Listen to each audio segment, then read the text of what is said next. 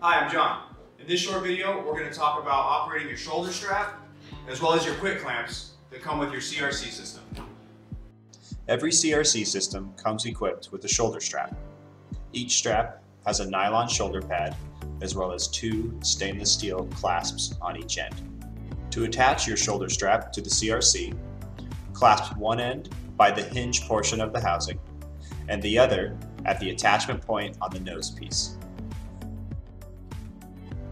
The CRC also comes equipped with two quick clamps. These clamps use the same key as the main housing to lock in place on your vehicle.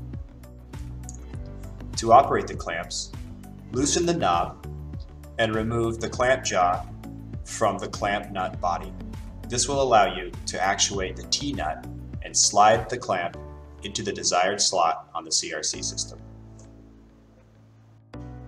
Install both quick clamps into the appropriate slots on your CRC system tubes based on the spacing of your roof rack.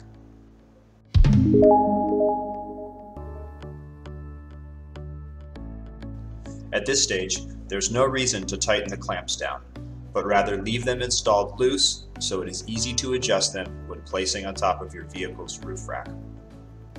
To secure your CRC system on your roof rack, swing the clamp jaw around your crossbar and tighten down the knob. Do not over tighten.